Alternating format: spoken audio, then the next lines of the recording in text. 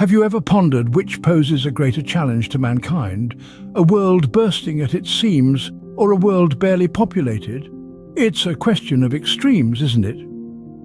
Let's delve into this conundrum. First off, overpopulation. Picture a world where the number of people significantly outweighs the resources available.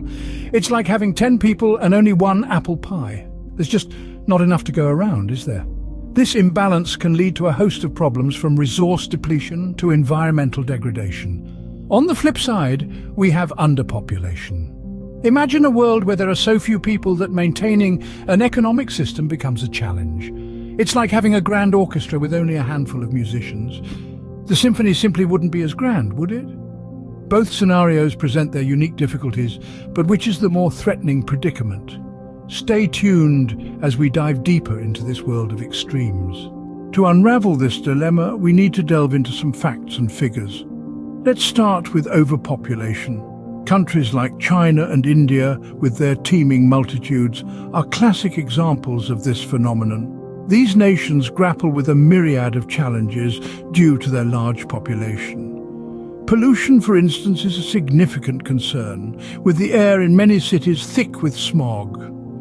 Poverty is another issue, with millions living below the poverty line despite rapid economic growth. And let's not forget about resource scarcity. With their vast populations, these countries face intense pressure on their water, food and energy resources.